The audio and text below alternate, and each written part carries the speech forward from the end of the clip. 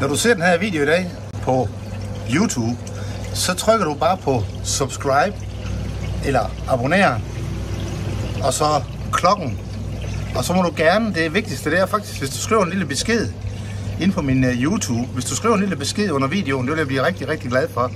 Bare skriv uh, godt vejr, dårligt vejr, har sovet godt, har ikke sovet godt, fin grøntsager eller et eller andet. Du, bare, bare du skriver et eller andet, det kunne jeg rigtig godt tænke mig.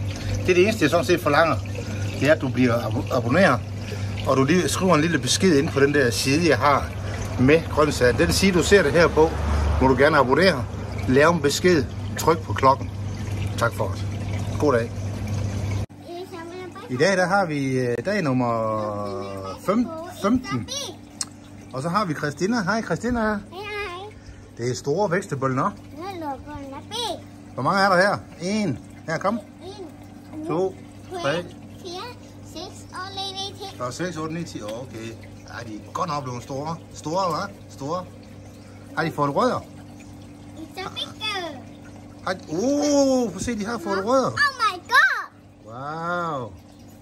Oh my god. Ud. railed up? Yeah. Ja, den har også fået rødder. Svej. It's bigger. Oh, bigger.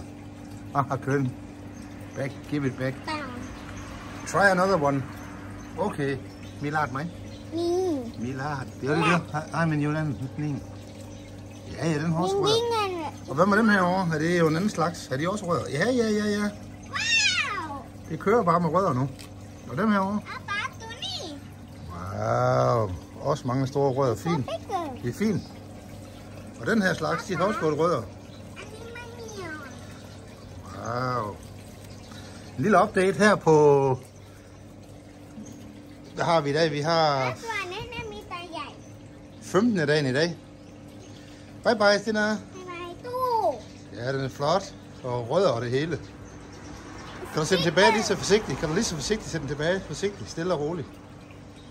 Ja. Sådan der. Tak for i dag. Bye bye.